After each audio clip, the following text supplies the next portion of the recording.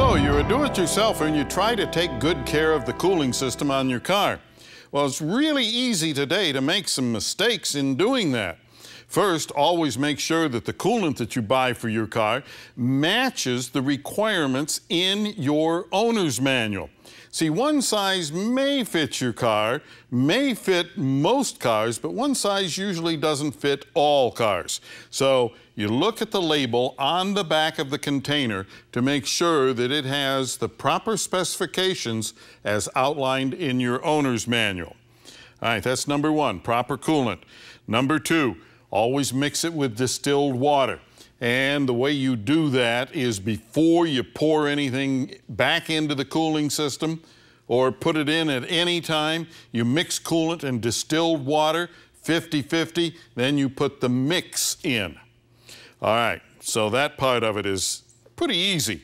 Now, a lot of you seem to think that if a little bit of coolant or antifreeze is good, then a whole lot is better. Namely, you don't put any water in it, you just put pure antifreeze in your radiator. Well, here we have pure antifreeze. It has a bolt in it. The bolt is all rusty.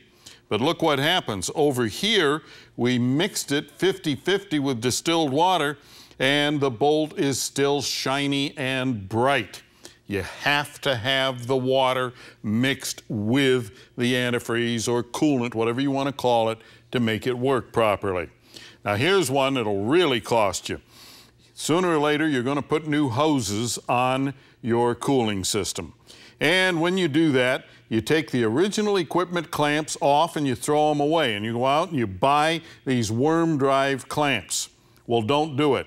You see worm drive clamps, when you tighten them down, there's a pressure point right under where the uh, screw is in them.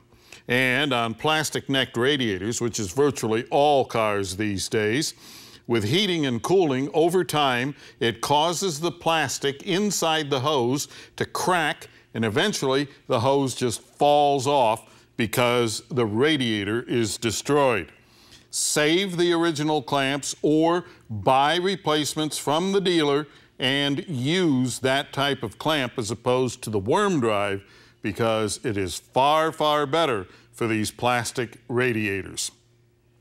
And if you have a question or comment, drop me a line right here at MotorWeek.